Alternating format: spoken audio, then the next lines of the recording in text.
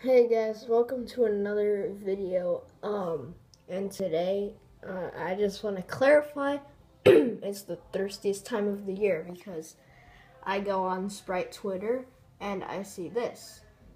And it says it's the thirstiest time of the year and we have a spicy gift for you.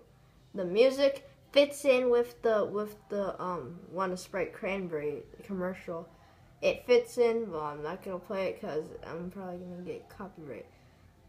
Well, I actually don't know, but I'm still not gonna play it because I don't want to take risks. And yeah, yeah. Um, and by the way, November 12th, remember, I'm gonna be basically redoing my channel. Um, make sure to like and subscribe to um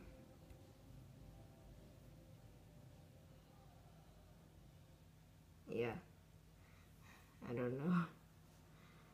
Yeah make sure to like and subscribe so I can make new videos like um recent and stuff but you know what?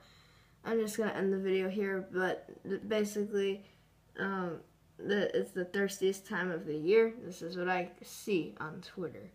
And Yep.